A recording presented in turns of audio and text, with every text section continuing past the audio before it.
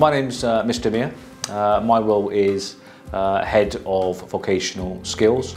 And what that entails is um, anything related to with careers, uh, managing the Duke of Edinburgh's award, and really helping our students transition onto um, successful future career pathways. Uh, the Duke of Edinburgh's Award we run here at Aurora Eccles School starts in uh, year 10 and goes through to year 11 where students engage in uh, community service, volunteering uh, developing skills and getting physical and of course the the cherry on the cake is the expedition sections where students get to leave school and take on new adventures and experiences and um, camping out in, in what we say the wild, so very exciting.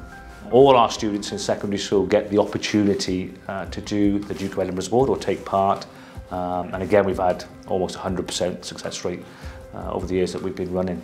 What the Duke of Edinburgh Award does for our students is it really provides them the framework and the opportunities to try new things, to challenge uh, themselves with support and guidance uh, and take on new experiences.